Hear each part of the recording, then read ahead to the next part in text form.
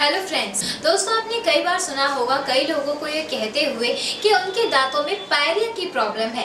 लेकिन क्या आप जानते हैं कि पायरिया असल में होता क्या है? कई लोगों को लगता है हमारे दांतों पर जो पीलापन जमा होता है, उसे ही पायरिया कहते हैं, जबकि ऐसा बिल्कुल भी नहीं है।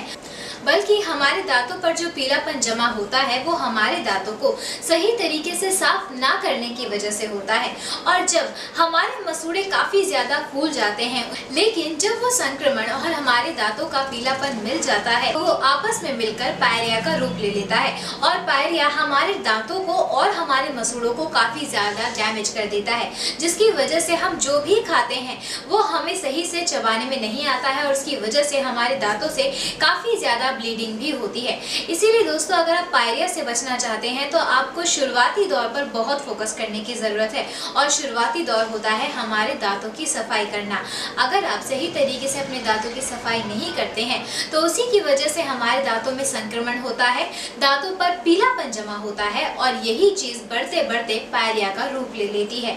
इसीलिए इस चीज़ से बचने की कोशिश करिए और अपने आप को स्वस्थ बनाइए।